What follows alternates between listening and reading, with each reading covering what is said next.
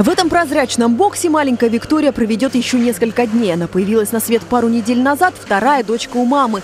Первый ребенок родился в срок. Молодая женщина, будучи беременной, и в этот раз чувствовала себя хорошо.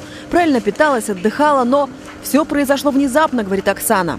Врачи посохраняли маленечко недельку, и вот мы родились 29 с половиной недель. Опасение было то, что ребенок не выживет, конечно.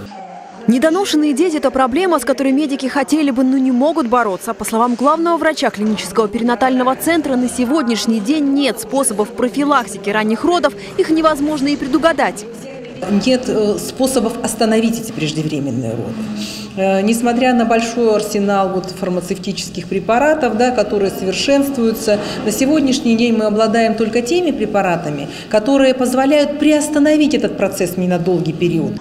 В нашем крае два медицинских учреждения, в которых выхаживают недоношенных деток. От рождения до самой выписки.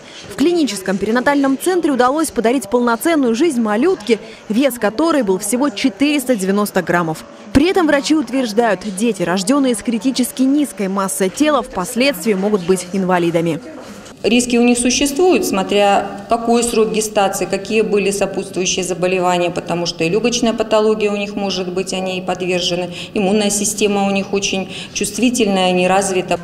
О том, что недоношенные дети не приговор, а факт, который ученые не могут объяснить, специалисты будут рассказывать молодым мамочкам. Сегодня в этом перинатальном центре для них открылась специализированная школа под названием «Тарапышки».